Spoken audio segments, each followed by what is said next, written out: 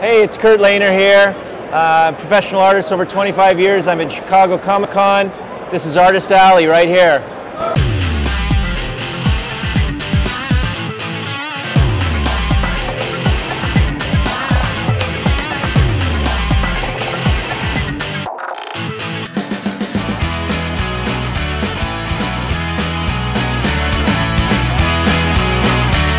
I always had it in me somehow. I used to draw Popeye all the time, Popeye the Sailor Man. I got an opportunity to work with Walt Disney and uh, I worked on the Gargoyles TV show. So I had the opportunity of designing a lot of the characters. I'm Canadianly famous for designing Franklin the Turtle. So uh, that's used now in all the, the public schools.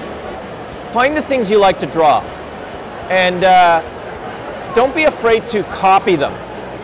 I used to do that when I was a teenager. I'd have all my comic books and I would copy the Marvel Comics or DC comic covers. Cool poses, really jazzed me up. I got really excited about those poses. They made me dream. I'm working on um, some, some secret projects with my company, uh, New Voyage Studios. Uh, my producer's here in Chicago and uh, we're going to talk to some of the celebrities and get them on board for voice acting. It's a superhero satire. It's all I can tell you. It's a little bit top secret everything has to be done through non-disclosure agreements, unfortunately, but uh, it's pretty cool. So